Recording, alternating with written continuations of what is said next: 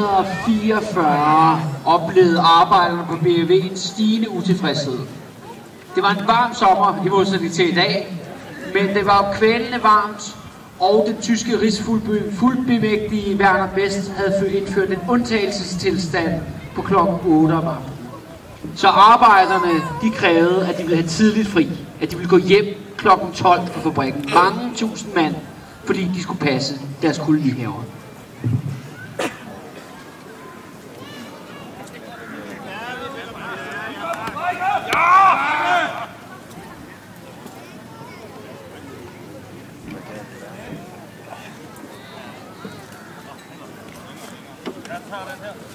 Så arbejderne de gik hjem kl. 12, men de blev hurtigt mødt af den danske ordensmagt.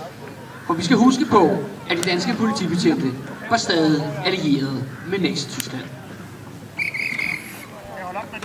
Vi kan gå hjem! Vi kan ikke Ikke jer, det går ud over!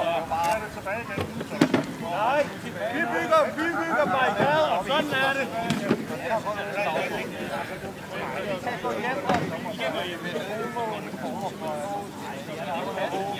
Politiet forsøger at dæmpe gylderne. Først med det gode. Men øh, når folk er rasende, så skal man jo tit bruge det onde.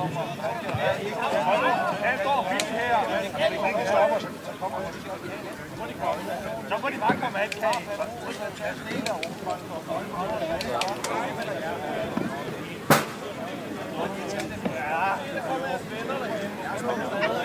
og når danske politibetjente ikke kan klare opgaven, så må de jo have forstærkning i form af tyskerne og deres danske håndlangere.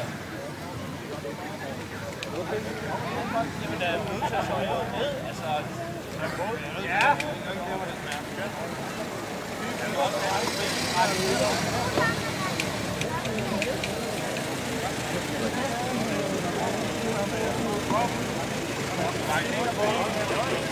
Aflever! Kom så! Kom modstand! De danske betjente kunne godt se, at de var klemte mellem den danske befolkning og deres tyske arbejdsgivere. Og derfor valgte mange danske betjente at trække sig ud, inden de kom galt af sted.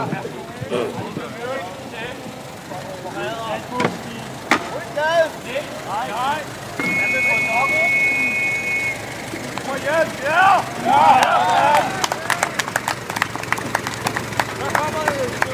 Men selv det danske politi og de tyske håndlanger var ikke nok til at opløse befolkningens rasen i gaden på Vesterbro, på Nørrebro og på Amager, og faktisk også hele vejen her til Holbæk til sidst. Til sidst blev der kaldt den tyske jernnæve frem. Det tyske militær blev sat ind mod danske civilister.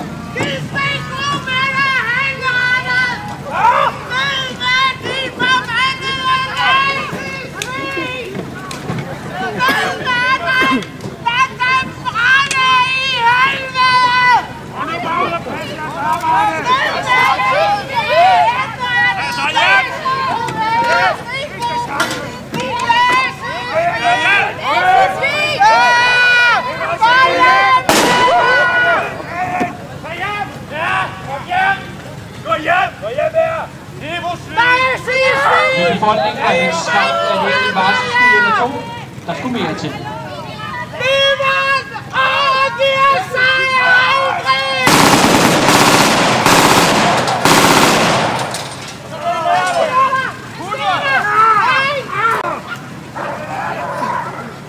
Jeg har lige fået en meddelelse fra den tyske overkommando i København. Der er erklæret undtagelsestilstand. Alle skal være inden for dørene klokken 5. Hvis man opholder sig mere end fem personer samlet, så vil den tyske værnemagt åbne ild.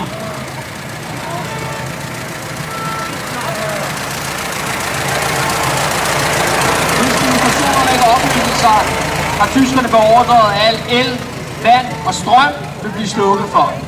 København er nu under belejring. Åh nej! Han er såret! Nej! Stop, stop! Kasten det er fuldt i!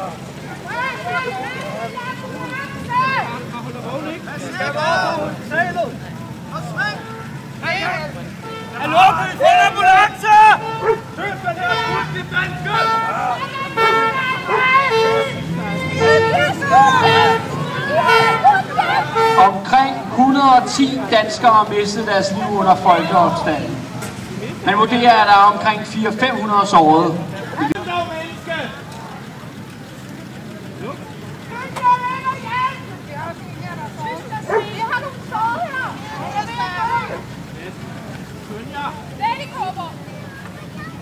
Kom, husk på skyd dansker! Uskyldige dansker! Arbejder! Skyd for byen! Gå så hjem! Ikke chance! Gå så hjem!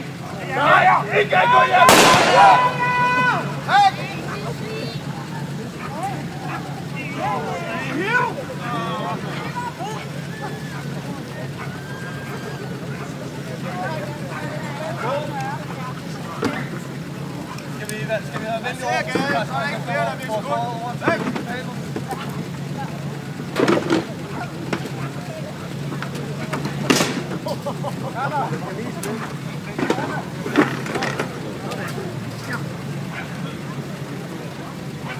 Hvor vil de have ham hen? Men det blev ikke kun ved kampe i gaderne. Snart så blev folkeopstanden til en folkelig strejke, hvor virksomheder, høj som lav, butikker og alt der midt imellem begyndte at lukke dørene. Række indtil at tyskerne ophævede deres belejring, og jernringen om København blev løftet. Og samtidig krævede de, at alle de danske nazistiske korps skulle ud af byen. Vi har taget vores aller, aller mest! Skrid med jer! Vi vil have vores land! Vi er bortet!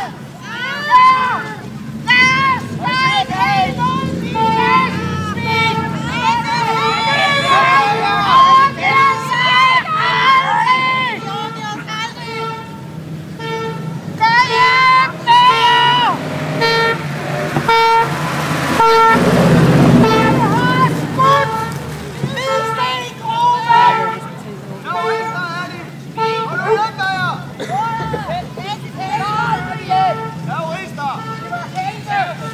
Jeg har lige fået en besked fra Danmarks Frihedsråd, dem der leder modstandsbevægelsen. De skriver følgende.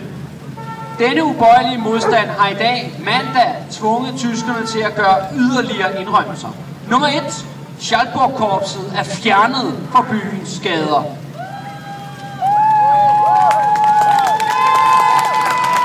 Wow. 2. Der er tilsavn om, at det tyske militær ikke længere vil skyde på sagløse civile.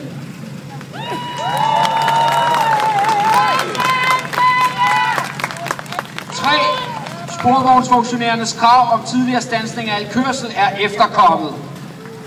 Ja, ja, der var et enkelt fan der. Yes. 4. Tyskerne frafalder en række tidligere fremsatte krav om repressalieforanstaltning. 5. Forhandlinger om Schalburg-korpsets fremtidige forhold er i gang. 6. Det forventes, at spærretid i København snart vil blive hævet.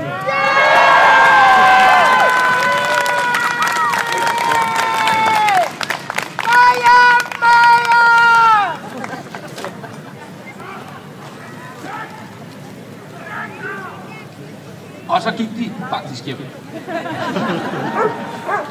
Det var sådan her, at folkeopstanden er en af de absolute største begivenheder i Danmark under besættelsen. I kan godt glemme alt om flammen og citronen og modstandsfolk, der løber rundt og skyder på hinanden i gaderne. Det her er det afgørende vendepunkt.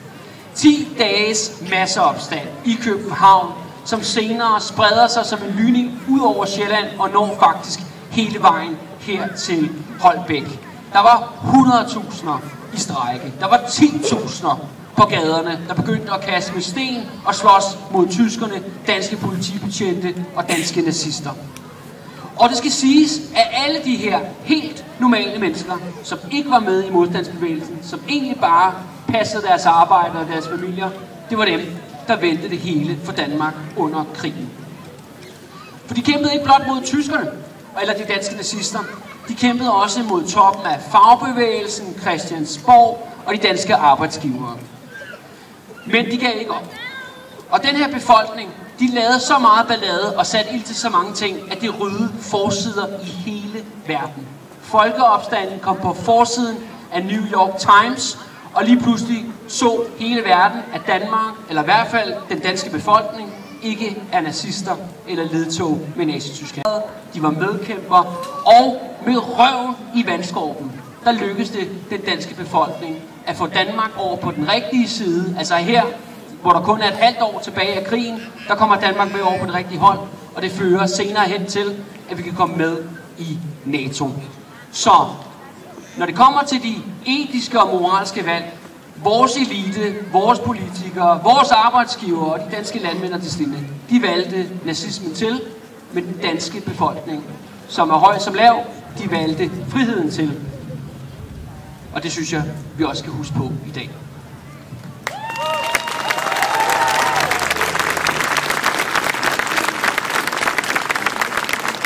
Og så kan vi også lige give vores aktører en stor hånd. Yes. Det næste, der skal ske, 14